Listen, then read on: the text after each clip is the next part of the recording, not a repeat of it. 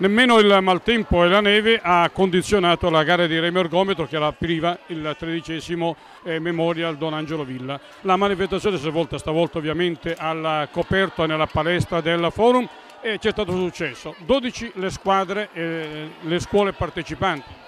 Qui ci siamo divertiti per un'ora e mezza, avevamo sei campioni partecipanti e insomma è stata un'ora e mezza di, di canottaggio vero e di agonismo divertente.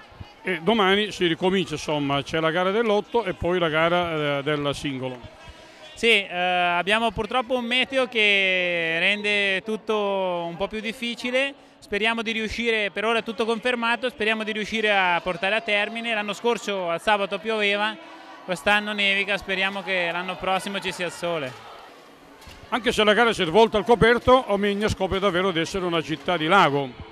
Assolutamente, bella questa sinergia con tutte le eh, con Orta e quindi con eh, il lago d'Orta dove abbiamo visto veramente stamattina eh, lo spirito di Don Angelo di questa manifestazione, nel senso i ragazzi e lo sport è quello che voleva Don Angelo.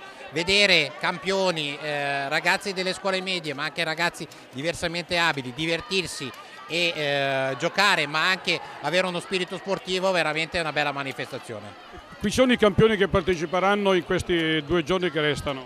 Ma qui eh, ha vinto il, il remergometro, l'ha vinto in, insieme alla sua staffetta con la scuola di Orta San Giulio Ivo Janakev che è un campione della Bulgaria, è arrivato terzo in singolo alle Olimpiadi di Atene e quindi è sicuramente un grandissimo nome di questo sport.